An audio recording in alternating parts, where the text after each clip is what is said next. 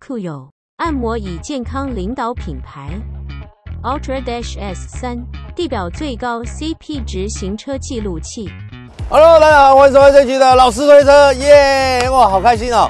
今天这样，哎、这台车在我们频道怎么可能出现？好不好？这个要谢谢小六帮我们处理到这台车子，顺便呢让小师来跟观众朋友分享一下，我也很久没有遇到标志的车子了。这次来到现场是四零八，它是这个 GT 的版本，它叫做什么？GT 什么？Premium。相信呢在别的频道也看过了。那今天它来了，我也是。有一点像是拿到了一个新的玩具一样，开箱新的玩具一样，好不好？所以呢，因为今天这台车呢不是我们买的，如果略显保守，请自行解读 啊，要不然人家帮我们弄一个车来，我下次害人家弄不到车，我怎么办？观众朋友也要见谅一下，好不好？我们也是有一些人情压力在的。非常具有设计感的一台车子哦，它用的是一点二涡轮增压一一九九 cc，一百三十匹马力，二十三点五公斤米的扭力，前轮驱动八速手自排，我也去查了一下，应该是 EAT 八爱信的八速手自排的系统，前面是麦花臣，后面是扭力梁，它的车身长度哦。我在看影片的时候，我以为蛮大台蛮长，可是其实呢，它大概就是比 Prius 五多八公分左右，不是同级车。为什么拿这个车比？因为呃，我觉得它后面那个斜背的造型比较类似啊。好，因为它这个这次这个车子啊。不高不低，你要说它是修旅车，其实高度又不到修旅车。那你要说它是个轿车，又比轿车稍微来的高了一些，而且还做了一些防刮材质。你要说它是旅行车呢，后面给你斜背。好，你要说它是刚那个五门车，它又太长，我们讲不出口水吐不象象牙，我们就说这四不像。那这个引擎啊，我之前最早最早一点二 T 引擎，我印象我最后贩售的车是二零八，二零八有一个通病，正时皮带泡在油里面，很多的车友都知道，老旧了之后呢，屑屑会堵住。机油口，那就会造成引擎好、有一些磨损、润滑不足等等的一些吃机油的情形。那后面呢，应该改良过了。那它后面我记得它的油电系统就把它改成内链条了。但是据我所知，它现在里面还是皮带。那至于这个皮带的材质、滑轨有没有改良，那我就不知道了，好不好？这个就观众朋友自己去做功课。我们来看一下它的设计。我跟你讲，这车设计感真的是，我们已经看太多那种模组式的设计。我现在已经看到市面上每一台车后照镜看到，你都分不出到底是大台还是小小孩，类似这种感觉。好，你一个 CC。RAV4 甚至新的亚瑞斯，那个车头看起来都长得差不多，对不对？你一个 BNW，从一系列到七系列，差几乎都差不多是那样子。所以我们开箱了那么多车啊，越开箱越有一种食之无味的感觉，提不起劲儿。今天看到这个车，我整个劲儿都来了。好看一下车头设计哦，它这次把这个四零八字就直接写在车头，它标志改新标在这边。阿戴四零七台语怎么讲？四控七哇，你会讲空气的，你不会讲西林气西林气的哦啊？四零八嘞？西控杯，啊，不是西林杯啊！我跟你讲，这个只有台湾人有这个问题嘛，所以这个要念什么数控版，就不会有那个西林北的那种感觉了，懂吗？数控版好利换，好类似这样，这样听起来就比较不会有谐音的感觉嘛。然后你看到它这个集中式的这个线条，法国人设计就是这样，它这个没有任何的通风功能，但是它也要呼应，为了要呼应就做线条。然后呢，它的头灯是矩阵型的头灯，只有在 GT 以上的版本才有。那最阳春呢，它就只有 LED，就没有这个矩阵式的头灯。然后它的设计啊，整个这个弧形啊，加上引擎盖做这个弧形，很像一个拍拍的形状，有没有？哦，所以法国人他在做东西是非常的细致，非常的细心的。为了一些零零角角的线条设计啊，他真的蛮用心的。而且啊，在这个地方的折线啊，你还可以看出一个肌肉线条感，有没有？凸出来，嗯一层一层，哦，然后拉这个弧线。防刮材质加上它这个是节能盖，中间是铝圈，但是它就塞了一二三四五五个节能盖塞塞进去哦。我是觉得有点不够杀了。二零五五五十九寸的铝圈，那侧面呢也有它的这个不旧的这个新标志。我觉得这远远看有点像以前那种什么药旗铝圈还是什么那种图案。刚小六有问我，我还是喜欢以前的那个，嗯，我也喜欢我觉得那个比较有标志性。特殊性，对，因为这个远远看真的看不出来，它那个形状又很像盾牌，又很像保时捷，法拉利对，这种倒三角形，那就差别是在里面这个图。我是喜欢以前的啦，哈，观众朋友，如果你也跟我一样，你可以留言。那再一个，它是黑色的后照镜，好，侧面呢一样有一个小面积的防刮材质，再来，我觉得它后面最漂亮的线条在这个地方收了一个很尖的线条。为什么要讲法式浪漫？一切问题的答案就是法式浪漫。侧面这边收的很有趣。好，那这边呢？你看它侧面啊，法国人设计就这样，它在这边这样子拉上来，对不对？然后这边又给你一条线。我就问那条线的意义在哪里？嗯，不知真的不知道。真的不知道对？这条线感觉没有也无所谓，对不对？嗯嗯，它就他们做东西就这么细。好，那底下一样两个折线，这边也收尖，然后这边收尖，然后这一边呢又做出了一个，不知道为什么。那包含它的车顶，你你都可以看到有点像钻石切削的这种有棱有角的这个线条出现哦。然后我们从侧面可以看它的 B 柱非常的粗，有没有？好，比起一般的车款都来得粗哦，在里面看起来也是超粗的，整个那个宽度做的非常的粗壮。那后面呢，也是这个染色的玻璃，包含这个水切都是用这个电镀黑色的，跟这个 B 柱的饰板是一样的。天窗是选配的，在天窗选配我记得是六万块吧，大天窗不是全景，可以开启的。然后呢，门打开啊，你看到这个 AGR，这个叫做德国背脊健康上面协会，这是一个认证的一个标签呐。我记得好像有些电脑椅也有，就是保护你的背部跟脊椎的健康的一个协会，它可能会为你的座椅做一个认证这样。啊，不过跟我坐起来感觉一样，我觉得应该长途行驶啊，支撑性会蛮不错，不容易疲劳。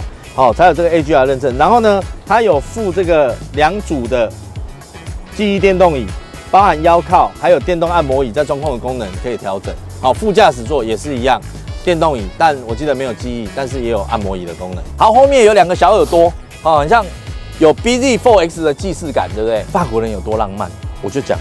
它这个大灯里面呢、竟然是做浮雕的，三 D 立体的。我跟你讲，它大可以做一个光条给你就好了。嗯，但它不要，它要做一块板子，三 D 反射，而且第二个，它大可以做一个大灯组就好了，里面做分隔就好了，它不要，它就是要做一颗一颗一颗，它就是硬要这样子做。真的，你要省钱，你就是整片玻璃就好。那里面你要分隔，你就用线去割就好了，黑线啊，银色的线啊，好，你去把它做切割就好。它不要，它整个形状就是要做的非常的特别。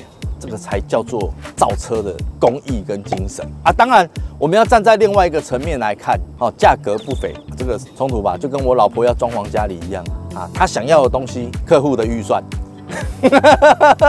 啊，客户的想法，客户的预算啊，通常最后就是选客户的预算那个部分，想法归想法，付不起，好，就类似这种感觉哦。它这个真的就是有预算的做法，后面也是一个很大面积的一个保杆，全部都是防刮材质，然后就是它。防刮材硬要做呼应，又刻出了一些线给你，它就是要硬要呼应就对了。我也不知道为什么，法式浪漫，好，你不知道为什么，答案就是法式浪漫，就这么简单而已。嘿，最顶级的才有脚踢尾门，那支援快速行导，但是六四啊，这六四分离，但是没有很平，好有高低差。那底下打开，一样是有备胎的，还有安全警示牌都放在里面，有它它的家。那这里有一个高低差，后行李箱的空间，呃，我觉得还可以接受，我记得是四百六十三公升吧，没记错的话。好，那这一次它这个是有选配 Napa 的皮椅哈，所以皮皮质没话说哦。这个选配我记得要九万块哦，然后它这个下面呢，椅子下面有一个跟 B N W 的那个 M 版的设计很像哦，它可以延伸你的腿的距离。然后这个头枕上呢，有不旧的新的 Mark 的烙印。首先看到的是很紧凑啊，就是它这个。中船做的很肥，然后门板这个也做的很立体，往你身上靠。我一坐进来，我就有一个很紧凑的感觉。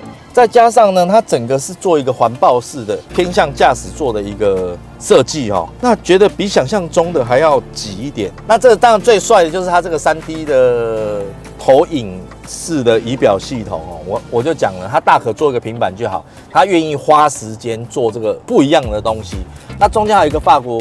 国旗跟这个 p o j o 的这个英文的象征，在这个仪表板里面，而且你在发动的时候，哈，它的发动荧幕跟启动荧幕呢也非常漂亮。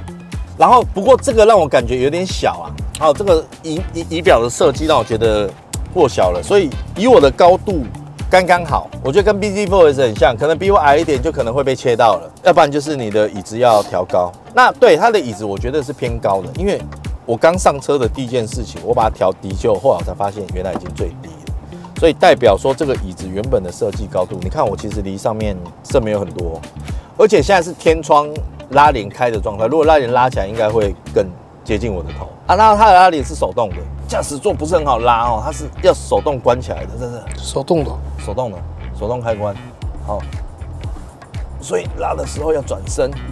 然后最阳春的，我记得是绒布椅，然后天棚是灰浅色天棚，不是深色天棚。然后呢，中间的这个中控台都是假的软质塑胶，加上这个黄绿色、苹果绿颜色的车缝线。中传呢是这种双开系统，而且还有一个灯哦，而且这个灯很特别，你看它是有开关的。你看法国人多龟毛，像那个冰箱有没有？家里冰箱，你们要开它会亮，感应到那个开关。它才会亮。你小时候我们就玩过冰箱门里面有个圆圆的棒子，然后按按按按，灯会关开关开关。你玩过吗？会啊，大家都会玩，原来大家都会玩，大家都会吧？小时候都会玩那个按钮，对不对？啊，这就类似这样哦。其实我我们试过很多车，开箱过很多车，一个是里面都没灯的嘛。那大部分我试到是里面有灯的话，通常都是开小灯以后它就会很亮。那它为了这个有多做一个开关是比较，坦白说我自己觉得比较少见的。那它这个排档的设计。还蛮有质感的哦，我以为它是一个很两光的一个塑胶，那的确它是塑胶的没错哈，但是它这个排起来啊，阻尼感非常的有质感，大家听一下这个排档声音，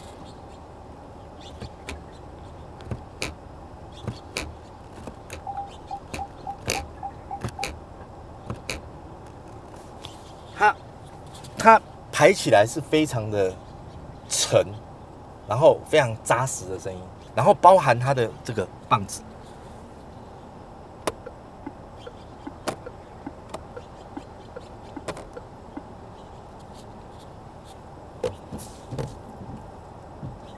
好，它的拨杆的阻尼感都设计的非常好哦。好，包含所有的这个方向盘上面的按键，跟车系统在方向盘上面，它的方向盘是上下平把的，中间有一个 GT 的字样，那很神奇，它就是个双幅式的方向盘啊，蛮可爱的。然后这个盘径也很小，所以操控起来我觉得拿起来还蛮就手的。当然，它的这个中控的电动窗控制按钮就全部都是黑色，没有烤漆的设计，只有扶手的地方哦有小范围的皮革。然后啊，我发现它这里有一个洞也蛮有趣，我不知道这干嘛。我发现这里有一个洞，有没有？然后它这里有做一些快捷系统，听说可以自定，就是有点像那个叫什么？Mac MacBook 啦，MacBook 以前不是有出那个哦快捷键的把有没有？嗯，你看到它这个新世代的这个东西啊，你看这过场很帅哦。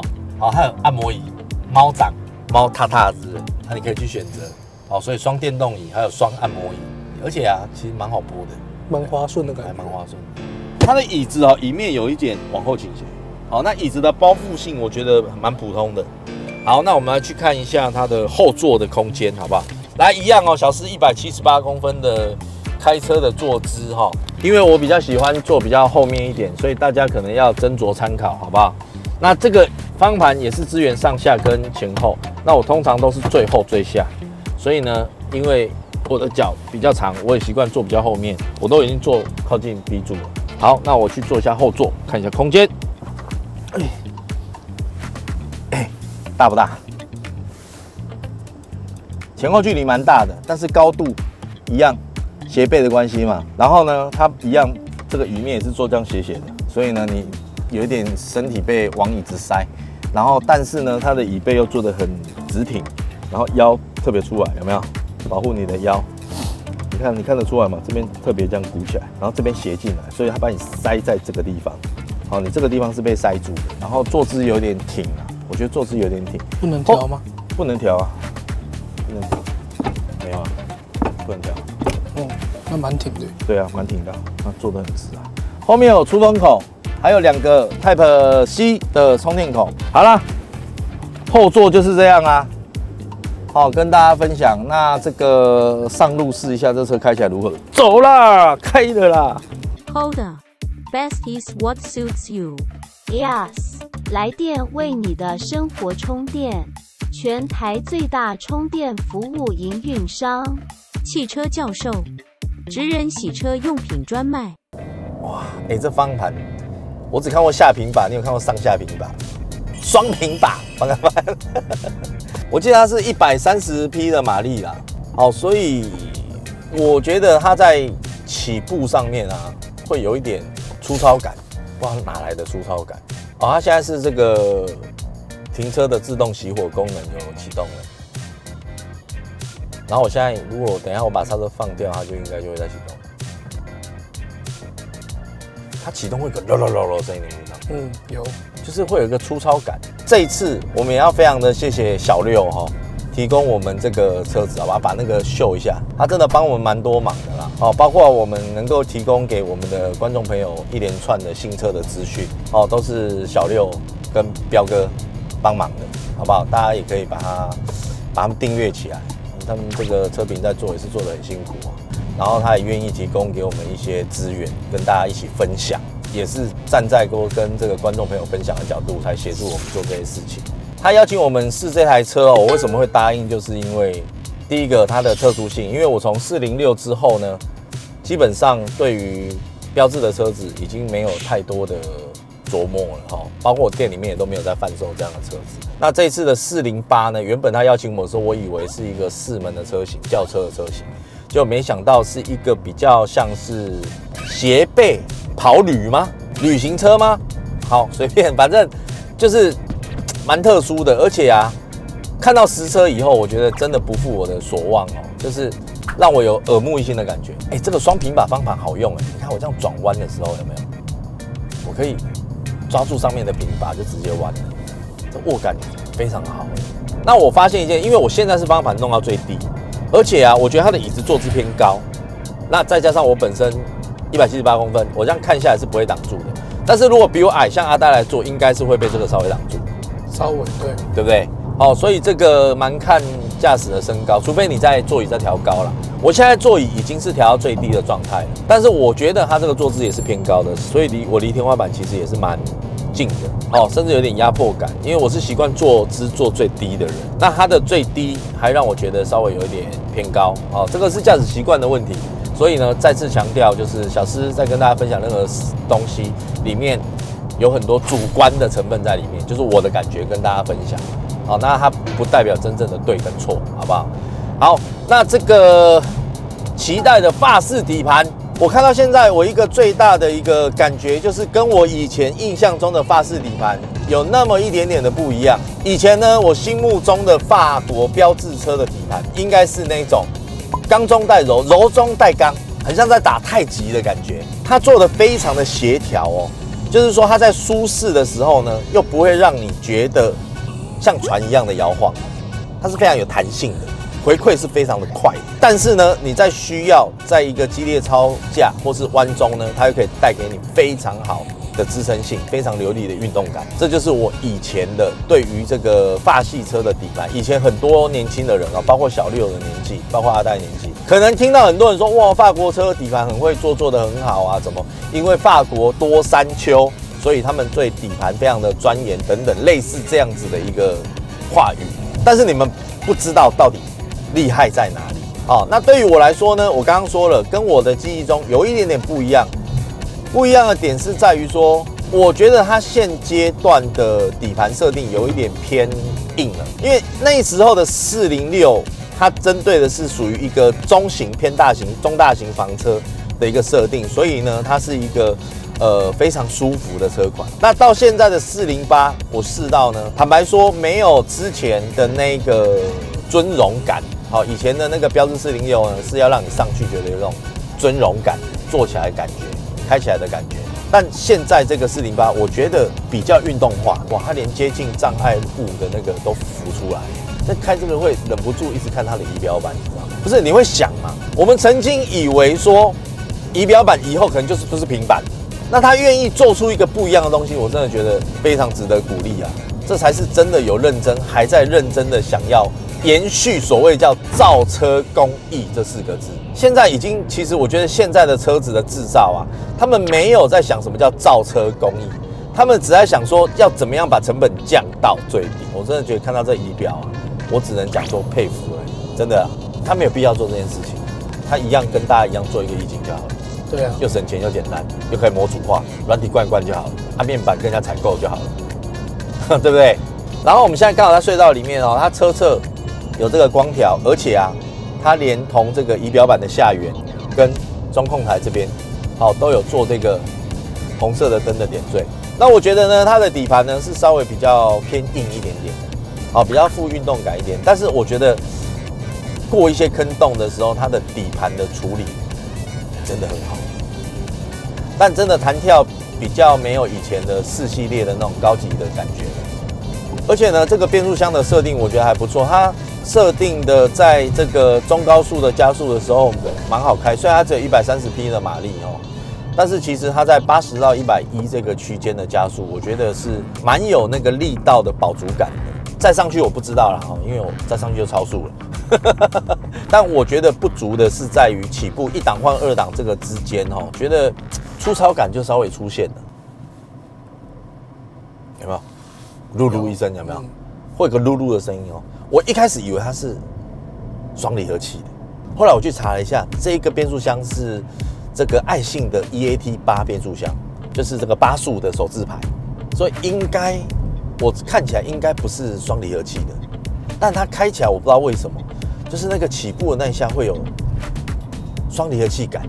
好，但是呢，速度上来以后基本上就没有问题了。你像现在转速偏低，在两千转左右哦，其实你可以感受到它的引擎的不足，还有变速箱的衔接感觉比较没有那么的 smooth。但是呢，当转速上来之后很好开。你看它底盘碎震的处理啊，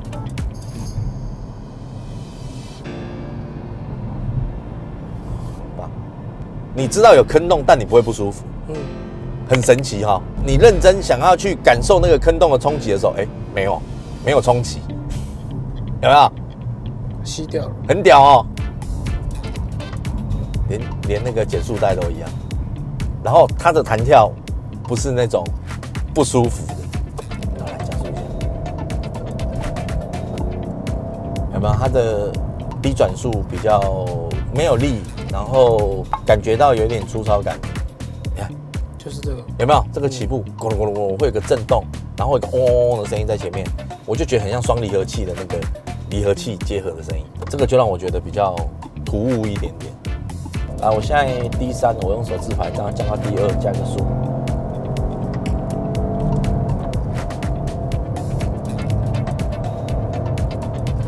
倒蛮好的，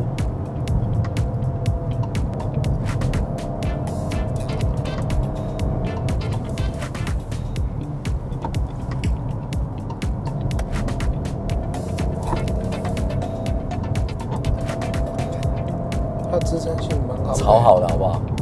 大家可以注意哦，我在这个过弯的时候，阿呆的身体其实不太有太大的左右倾斜。嗯。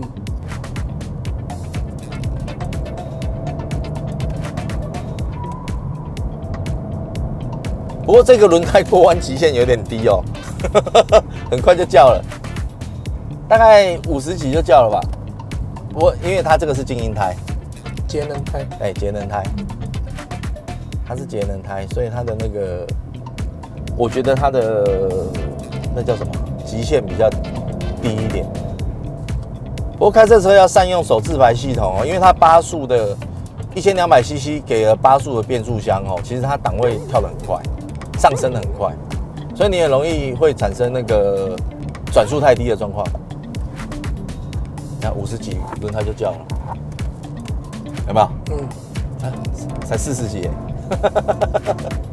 好，这个轮胎跟不上这个底盘，所以呢，胎皮可以换。当然你你是想享受操控的人，好不好？这个就真的是指哪打哪。好，大家可以从这个中间的镜头观察啊，我在过弯的时候，阿呆的身体的侧倾其实是不是很大的？阿呆，你觉得是他的呃座椅支撑性好呢，还是因为它的底盘对于侧倾的抑制好？我觉得是底盘。你觉得是底盘呢？因为椅子没有很包啊，椅子没有很包。阿呆，你才知道什么叫做法法国车的底盘工艺就是这样，它没有德系车的那种刚硬感，真的它就是有一种柔中带刚的感觉。这开山路是很愉快的，它开起来哦，你会忘记它的车长，忘记它的体积，它不是的，其实它体积还蛮长，它蛮大台的。对，其实它还蛮大台的。哎，高清啊！你看那个锐利度，我跟你讲，我们拍了多久的开箱了多多少的车子，我只记得打开应该要很多小小的噪点在那边动来动去。哇，看到这个荧幕就赏心悦目，有种赏心悦目的感觉。哎、你看我方法反过来，我还以为方法是正的，有啊？我方法明明就反的，我还以为它是正的，看到五十公里过弯就轮胎就逼了。如果想要享受更高阶的操控感，胎皮要换，我是觉得整个铝圈都该换掉。我觉得用铝圈盖看起来就真的有点娘娘的。不过我蛮意外，它的一百三十匹开起来，没想到力量蛮爆。好啦，那因为毕竟呢，我们是二手车商哦，那我们这个跨区来开箱这种新车哦，你叫我要抛弃掉二手车价不谈，其实说不太过去。标志这个车款一直都是市场上比较冷门的，它自从它四零六、二零六的那个全盛时期过了之后，整个走下坡，然后可能因为这个不管原厂、外厂维修资源的降低跟减少，那其实它中间呢停滞了一段时间，也失去了很多原本忠实的顾客。坦白说，其他以前没有它会做底盘的车厂，好，大家底盘也越做越好了。所以呢，它当然它的底盘还是很细致，调教的还是很棒，但是呢，差距已经不如以前我觉得的那种差距感哦，已经差距不大了。但它还是棒的，只是说我觉得其他的车厂呢，对于这个东西底盘这个调教已经迎头赶上了啦，但不是没有超越，但我觉得已经迎头赶上，显得它的竞争力没有这么的足够，这么的强了啦。好，那二手车价是没办法撇开不谈的，是说这个车因为数量的关系，那因为我讲的维修据点、外场维修难易度的关系，我觉得折旧不会太小。虽然我已经很久没有经手过标志的车车款，但是呢，有一些观众会来问我，那我会帮他们询价一下，因为我们已经蛮久不收了啦哈。那询价一下，通常都是二到三年，差不多就要折半，所以那是一个很可怕的数字。但是呢，坦白说，折半是你车商给的价格，通常消费者听到折半他不会买，哦，因为他觉得真的太差太多了。所以通常这个车呢，朋友之间、社团之间转手交流掉了，所以这个这种标志的车款要流到二手车市面上来的数量，其实坦白说真的是偏少，好不好？那这个很少，因为我们都开箱自己买的车，那很少开箱不是我们自己的车子。非常谢谢七号车库小六彪哥哈，给我们这个机会，可以试一下这个我们没试过，在我们节目不太会出现的车款。好，如果喜欢小司这种类似呃开箱分享我们不是我们自己买的车的话，好也留言让我们知道。虽然我相信讲的比较保守，如果看我们节目久的人，应该都可以听得出当中的差异性。好不好？喜欢影片记得订阅留言，非常感谢大家，再见，